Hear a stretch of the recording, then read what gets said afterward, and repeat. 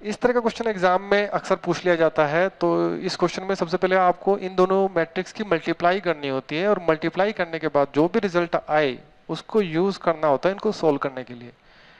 कई बार बच्चे क्या करते हैं कि ये जो मैट्रिक्स मेथड से इसको सोल्व करने लग जाते हैं। अगर आपने इसको मैट्रिक्स मेथड से सोल्व किया, आपको मार्क्स उस मेथड के बिल्कुल नहीं मिलने वाले। इस मल्टीप्लीकेशन का जितने मार्क्स बनेंगे, वो मिलेंगे आपको। आपकी इसकी मल्टीप्लीकेशन का यूज़ करके इसको सोल्व करना है। अब वो कैसे करना है, वो मैं बताता हूँ इसके अंदर कैसे होता है। तो सबसे पहले आपको इन दोनों को मल्टीप्लाई करना है। तो मान लेते हैं, अपने स्टेप में दिखाना आप इसको। इसको आप लेट कर लो। पहली मैट्रिक्स को जो है, इसको ए मान लो और ये आप इसको बी मान लीजिए। ठीक है? और सबसे पहले आपको ए इंटू बी करना है। तो जब ए इंटू बी करेंगे तो देखिए, ये जो पहला कॉलम है, पहले कॉलम के एलिमेंट्स की मल्टीप्लाई शुरू करेंगे तो ये पहले कॉलम के ये वाले एलिमेंट इससे मल्टीप्लाई होगा पूरी, पूरे कॉलम से, और ये वाला एलिमेंट सेकंड कॉलम से होगा, और ये वाला एलिमेंट इससे मल्टीप्लाई होगा। तो देखो क्या आता है। यहाँ पर आएगा minus two zero minus six plus plus plus फिर नाइन की बारी आई इस पूरे से तो आएगा माइनस का नाइन अट्ठारह और माइनस के अट्ठारह प्लस प्लस प्लस उसके बाद सिक्स की मल्टीप्लाई करते हैं तो बारह। माइनस के अट्ठारह और चौबीस। अगली बार आपको ये वाला कॉलम लेना है तो इसमें इसकी इसके साथ और ये वाला एलिमेंट इस कॉलम टू के साथ, ये वाला एलिमेंट कॉलम थ्री के साथ। तो देखते हैं क्या आता है। ज़ीरो की तो टेंशन ही ना लो, ज़ीरो सबको ज़ीरो कर देगा। प्लस प्लस प्लस, उसके बाद टू की पारी। तो ये हो जाएगा माइनस का टू, फिर हो जाएगा फोर, फिर हो जाएगा आपका, यहाँ पर कितना आएगा? माइनस का फोर।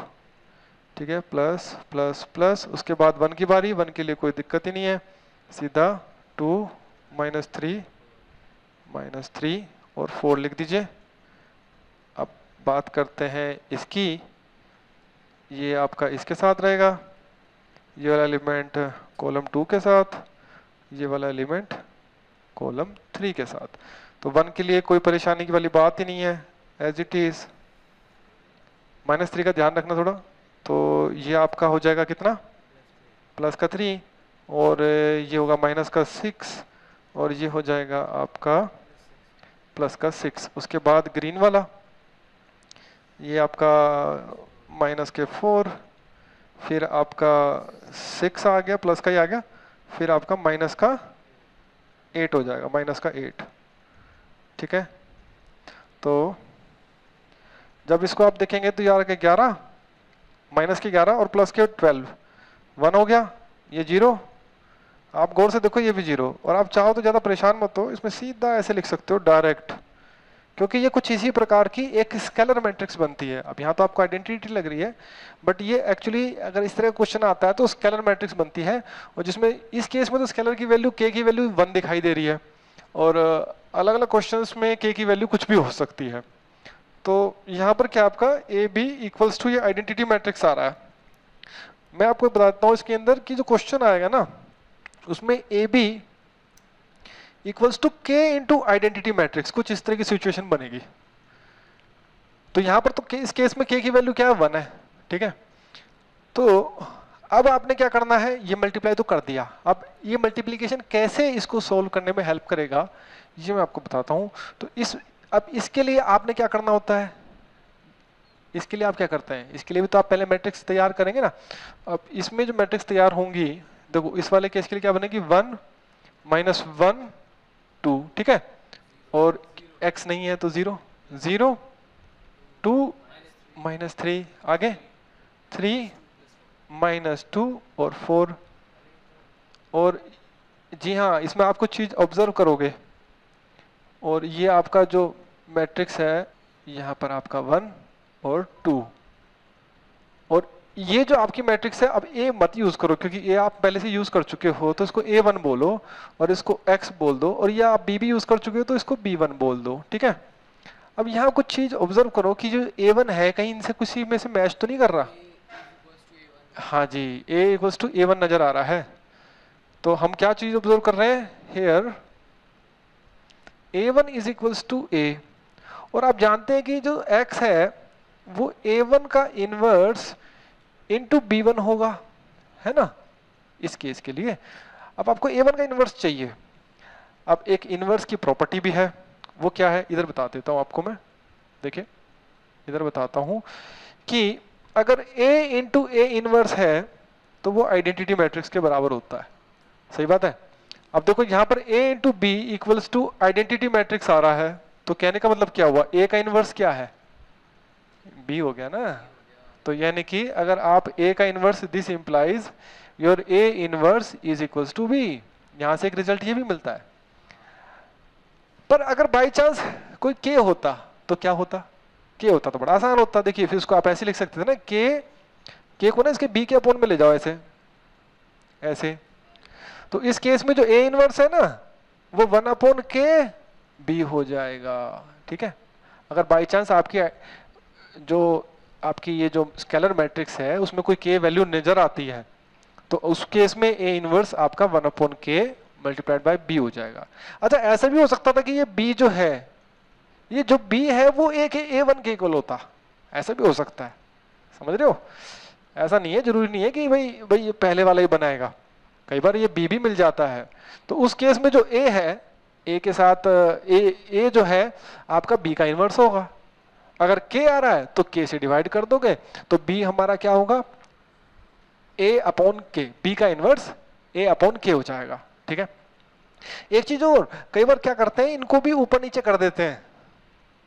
आपको पहले ही मैंने किसी क्वेश्चन में बताया हुआ है, ये जो आपकी इक्वेशन वन है इक्वेशन टू है इक्वेशन थ्री है, उससे जब आप ए वन बनाते हो, बिल्कुल सही बनता है पैटर्न में, ऐसे, बिल्कुल सही बना है। अगर मान लीजिए आपकी जो ये रो टू है, ये रो थ्री दिखाई दे रही होती तो भी बिल्कुल परेशान होने की ज़रूरत नहीं है। आप इसको पहले रीअरेंज कर लो। ठीक है? इसको रीअरेंज करके तब क्वेश्चन को सोल्व करो। ये एक इंपॉर्टेंट क्वेश्चन हो जाता है, इस तरह से अगर आता है। अब आपके सामने क्वेश्चन बड़ा आसान हो जाता है, क्योंकि अब आपने क्या करना है? ए वन इनवर्स आपको पता ही है ए वन इनवर्स क्या है? ए वन देखो ए वन हमारा ए के बराबर है। तो जो ए वन का इनवर्स होगा, वो ए इनवर्स के बराबर होगा। और जो ए इनवर्स है, वो क्या है? बी है। समझ में आई बात कि नहीं आई? तो यानी कि x बराबर क्या होगा? b इंटू बी वन होगा। ठीक है? तो b इंटू बी वन को सोल्व करेंगे। तो एक काम करते हैं, इसको नेक्स्ट पेज पे करते हैं। तो ये होगा हमारा x इक्वल्स टू पहले तो b लिख दो। b हमारा क्या है? ये b है। ये हमारा b है ना? इसको हटा दो। b हमारा क्या है? इसके एलिमेंट्स क्या है? माइनस टू ज़ीरो वन देखना ध्यान से। हमारे हैं माइनस टू ज़ीरो वन उसके बाद नाइन टू माइनस थ्री फिर सिक्स वन माइनस टू एक बार देख लो। ठीक है? तो अब यहाँ पर हमें b1 लिखना है। B1 के क्या थे? वन वन टू तो b1 के लिख दीजिए। वन वन टू अब इनको मल्टीप्लाई करेंगे। तो मल्टीप्लाई करते समय आपको पता ही है कि ये जो पहला एलिमेंट है, ये इसके साथ आएगा। ये वाला जो है, ये कॉलम टू के साथ आएगा। ये वाला कॉलम थ्री के साथ आएगा। तो देखो क्या बनता है। वन से कर रहे हो तो कोई दिक्कत ही नहीं है। Minus two nine six plus plus plus अब इसकी ज़ीरो टू वन फिर टू की बारी। प्लस के क्या हो जाएगा? ये टू हो जाएगा। और यहाँ पर माइनस के छः और माइनस के चार। ठीक है? तो ये आपका क्या बनता है? ज़ीरो आ रहा है। ओहो, ज़ीरो और ये? फाइव आ रहा है और ये? सात, ये थ्री आ रहा है। तो एक्स वाई जेड अब ये जो मुझे थोड़ी सी वैल्यू अजीब सी लग रही है तो इसको ज़रूर एक बार रख के ज़रूर देख लें। तो ज़ीरो फाइव थ्री, ये चेक ज़रूर कर लें, क्योंकि थोड़ा अटपटा लग रहा है इसमें। एक्स की वैल्यू हमारी निकल के आ रही है ज़ीरो वाई की वैल्यू निकल के आ रही है फाइव और जेड की वैल्यू निकल के आ रही है थ्री तो एक बार देख लेते हैं कि क्या सेटिस्फाई कर रहा है कि नहीं। इक्वेशन ये आपके सामने। पहले आपने रखना है ज़ीरो माइनस के फाइव और तीन दूनी छः तो तीन दूनी छः और माइनस के फाइव एक। सही है। इस वाले केस में देखें, पाँच दूनी दस, और तीन तीन नौ। तो दस माइनस थ्री वन बिल्कुल ठीक है। तो यानी कि हमारा आंसर सही है। फाइनल आंसर आ गया है। हाईलाइट कर दो।